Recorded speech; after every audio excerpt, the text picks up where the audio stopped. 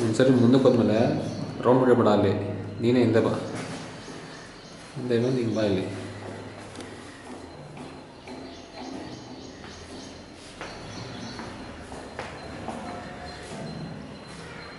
Centre ಲೈನ್ಗೆ ನೋಡ್ಕೊಂಡ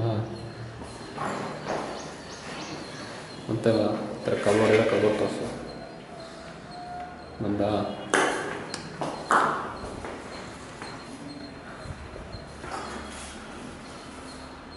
ಹಿಂಗೆ.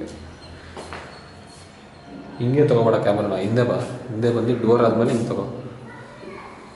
ತಗೊಂಡು ಡೋರ್ ಕ್ಲೋಸ್ ಮಾಡ್ಕೊ.